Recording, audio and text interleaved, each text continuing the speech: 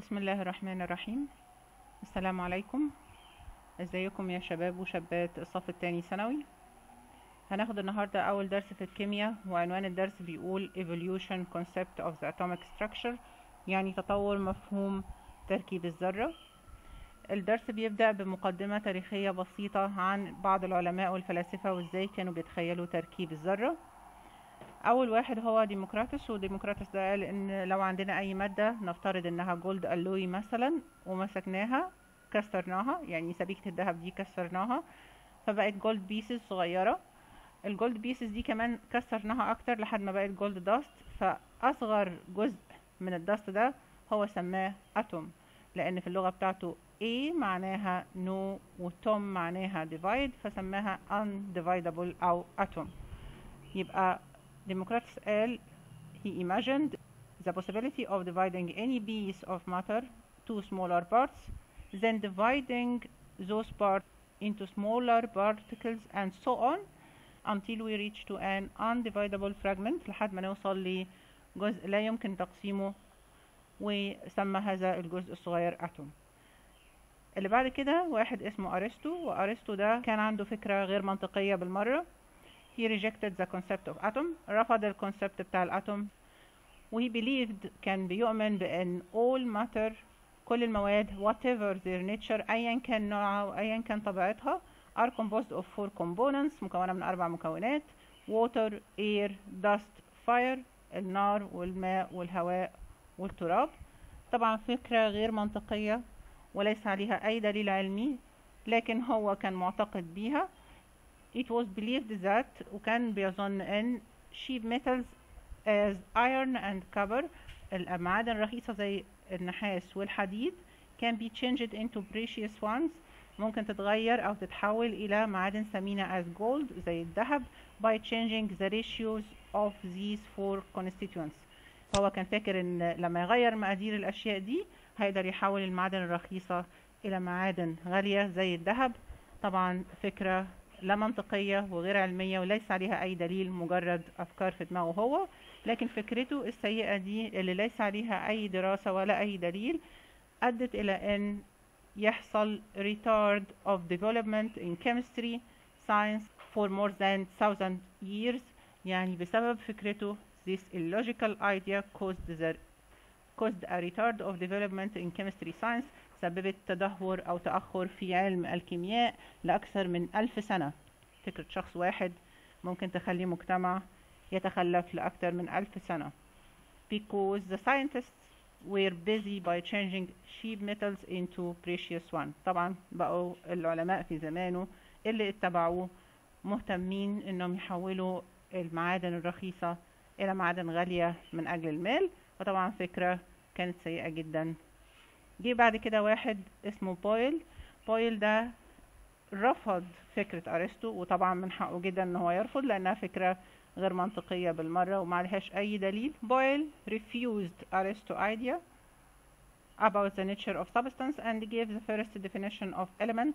ابتدى يدي تعريف لمعنى كلمة عنصر وقال إن العنصر the element is a pure simple substance مادة نقية بسيطة that cannot be changed to simpler forms. ما تقدرش تتغير إلى أشكال أبسط منها by the traditional chemical method بالوسائل المعروفة الكيميائية. بعدهم جه واحد اسمه دالتون. ودالتون ده وضع تصور للذرة. وضع نظرية فيها بعض الفرضيات عن تخيله للذرة. فقال the element is composed of very small particles which are named atoms أي عنصر متكون من جزيئات صغيرة جدا بتسمى ذرات the atom هي كمان undividable particle يعني هو افترض إن الأتوم ما بتتقبلش للتقسيم يعني هو كمان افترض إن الأتوم غير قابلة للتقسيم. هو افترض إن العنصر مكون من أجزاء صغيرة هي الأتومز وقال إن الأتوم بقى نفسها غير قابلة للتقسيم. دي الفرضيات بتاعته. الفرضية الثالثة اللي هو افترضها the atoms of the same elements are similar in the mass. فافترض إن الذرات بتاعت نفس العنصر لازم تكون متطابقة في الكتلة لأنها بتنتمي لنفس العنصر. But they are different from the atoms of any other element لكنهم بيختلفوا عن الذرات بتاعت أي عنصر تاني غيره.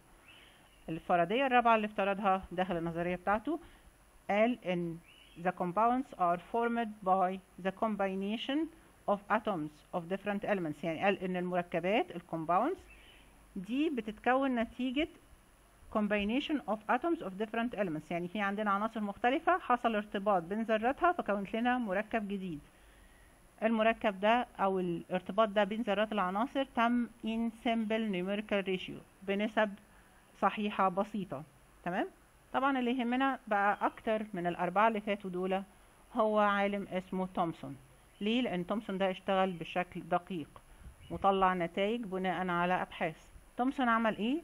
تومسون اكتشف حاجة سماها كاثود ري. It was known that gases don't conduct electricity under normal conditions of pressure and temperature. يعني إحنا كلنا عارفين الغازات ما بتوصلش الكهرباء تحت الظروف الطبيعية من الضغط والحرارة. لما بيكون عندك لما بيكون عندك في البيت أي مخارج للكهرباء اللي بتحط فيها فيشة الأجهزة الكهربائية المخارج دي قدامها الهواء. الهواء مش بيتكهرب وبالتالي وده مثال بسيط تقدر تشوف بيه بنفسك إن الهواء ما بينقلش الكهرباء لكن طبعا لما بتحط أي فيشة ليها أسنان معدنية داخل المخرج بتاع الكهرباء عشان تشغل جهاز تنتقل الكهرباء على طول عبر الأسنان المعدنية بتاعت الفيشة وتروح للجهاز. فمن المعروف إن under normal conditions of pressure and temperature gases don't conduct electricity.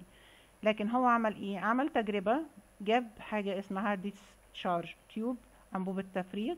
الأنبوبة دي فيها هنا مخرج يقدر يعمل منه تفريغ للهواء اللي جوه الأنبوبة. فالمخرج ده متصل بفاكيوم بامب مضخة تفريغ. وفي طرفين الأنبوبة في كاثود وأنود متصلين ب source of electricity.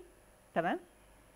وخلى هنا في high voltage في كهرباء عالية جدا. ملى الأنبوبة بغاز وأول ما شغل المصدر الكهربائي اتفاجئ إن الكاثود ابتدت تطلع منه ريز وابتدى الغاز يوصل الكهرباء وتنتقل الكهرباء من خلال الغاز الموجود اللي جوه وابتدت الكهرباء تنتقل من الكاثود للأنود عبر الغاز الموجود اللي جوه. أصبح الغاز اللي جوه موصل للكهرباء. قدرت الكهرباء تمشي فيه وتوصل من القطب السالب إلى القطب الموجب. طبعا لما العلماء بيشوفوا أي ظاهرة لازم بيحاولوا يعرفوا تفسير تمام gases conduct electricity in discharge tube whose two poles whose two poles are connected to an electric source يبقى ال two poles دول القطبين متصلين ب electric source of suitable high potential difference عنده طبعا جهد فرق جهد عالي وطبعا في very low pressure داخل الأنبوبة لأنها متفرغة يبقى عندنا high potential difference. ادي أول condition. And under very low pressure حصل إيه؟ إن الجازس قدرت توصل الالكتريستي تمام؟ المعلومة اللي بعدها إن if the potential difference between the two poles إذا كان فرق الجهد between ال two poles القطبين اللي في الأنبوبة exceeds 10,000 volts.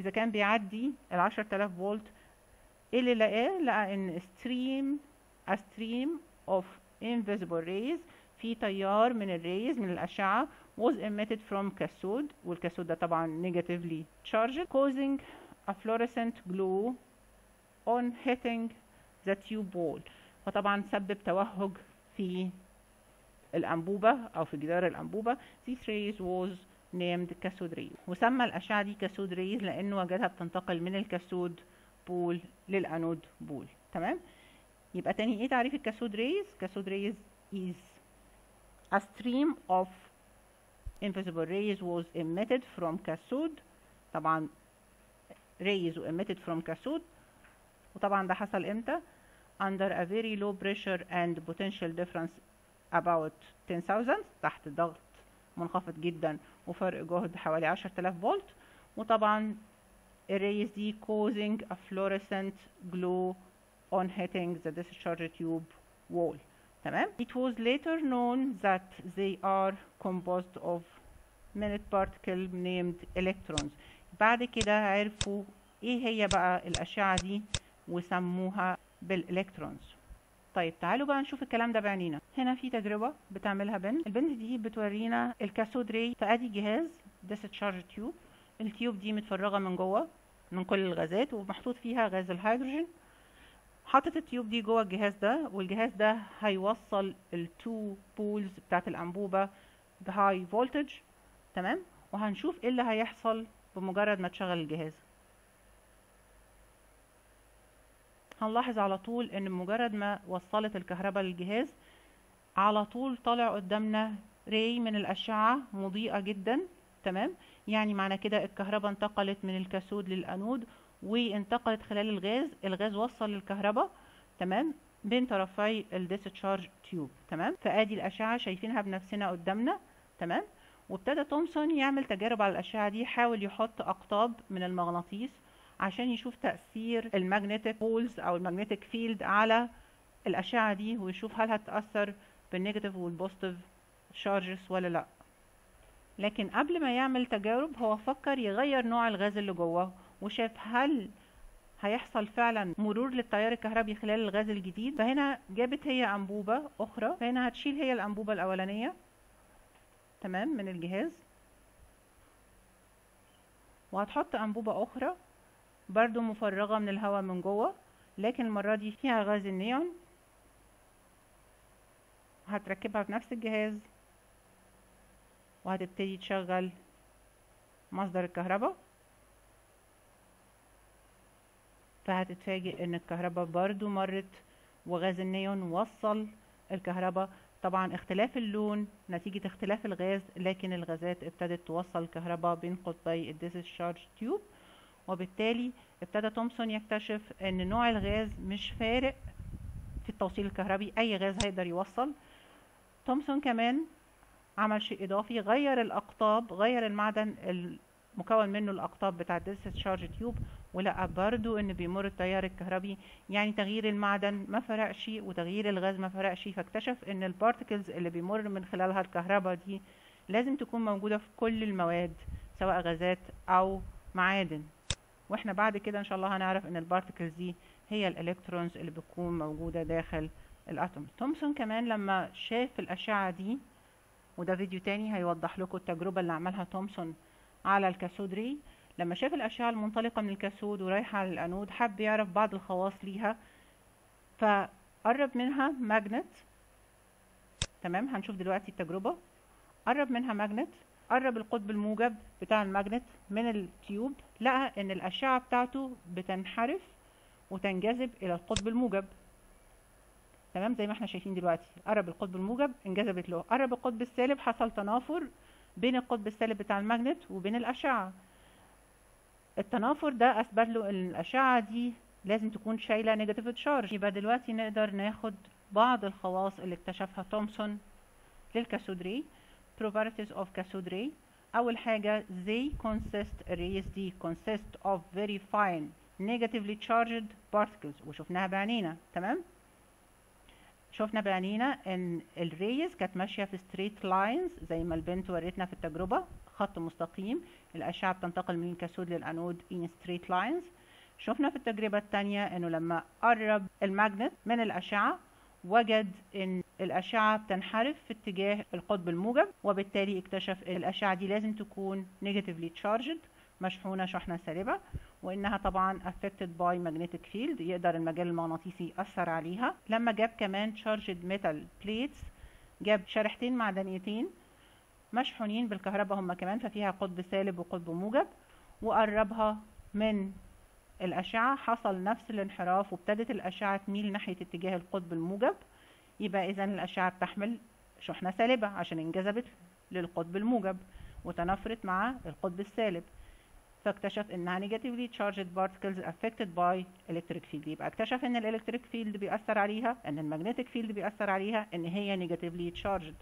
يبقى تاني properties of cathode rays they consist of very fine negatively charged particles جزيئات مشحونة بشحنة سالبة they move in straight lines بيمشوا في مسارات مستقيمة they have a thermal effect عندها تأثير حراري لأنها طبعا سخنت التيوب اللي هي موجودة فيها they are affected by both electric and magnetic field بتتأثر بكل من المجال المغناطيسي والمجال الكهربي they don't differ. ما بيتغيروش. Either in behavior or in nature. لا في السلوك ولا في الطبيعة. يعني الإضاءة ما بتتغيرش. لا في سلوكها تجاه الأقطاب الموجبة والسالبة أو الشحنات الموجبة والسالبة ولا في سلوكها بإن هي تمشي في straight lines. يعني لا في النتشر ولا في البيهيفير if the material of the cathode or the used gas is changed. يعني غير القطب بتاع ال discharging tube غير الأقطاب المعدنية غير الجاز ولقى ان no difference. مفيش أي فرق. دايما الأشعة دي موجودة ودايما ليها نفس السلوك ونفس الطبيعة. وبالتالي أصبح عنده قناعة وأصبح عنده دليل قوي أن الجسيمات دي is a fundamental constituents of any matter. لازم تكون الجسيمات دي مركب أساسي في أي مادة. يبقى هنا ما بيتكلمش كلام فلاسفة. هنا في عالم أجرى تجربة علمية واستنتج استنتاج منطقي. إن عنده تجربة بتقوله إن في مكون أساسي موجود في جميع المواد يحمل شحنة سالبة. فيما بعد إن شاء الله هنعرف إن, المر... إن المكون ده تم تسميته بالإلكترونز وإن هو جزء من ذرة أي عنصر. يبقى in the light of the electrical discharge experiments في ضوء التجربة بتاعة الإلكتريك discharge تومسون suggested a new atomic model for the atom تمام the postulate of Thomson's model تومسون بقى تخيل نموذج قال إيه فيه he considered the atom as a solid sphere تخيل ان الاتوم هي solid sphere of uniform positive electric charges يعني تومسون قال أو أعتبر الذرة هي solid sphere كرة صلبة ومتوزع فيها positive electric charges شحنات كهربية موجبة in which a number of negatively charged electrons is embedded. وتخيل إن الالكترونز دي مغروسة في السفير ده في الأتوم دي. وليه تخيل كده؟ to make the atom electrically neutral. طالما الذرات بتاعت العناصر ما بتكهربش electrically neutral.